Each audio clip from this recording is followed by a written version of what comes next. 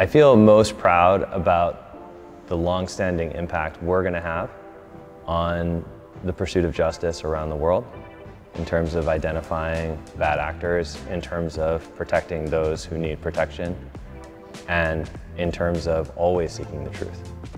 Harm reduction in AI is table stakes for this industry. You like it? I like it. Yes. yes. okay.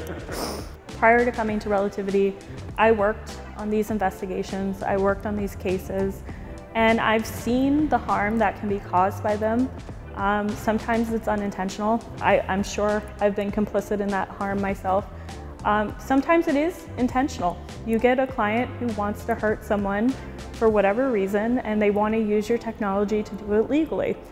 And so when I came to Relativity, I wanted to do whatever I could to reduce the harm that technology could cause.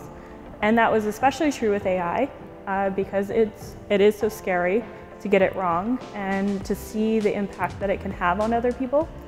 And a lot of people think of relativity as just an e-discovery tool, but it's so much more than that, and it's used by so many more organizations that have really critical missions, such as um, used by different government agencies to determine um, the, the well-being and life of other people. It's used to investigate war crimes.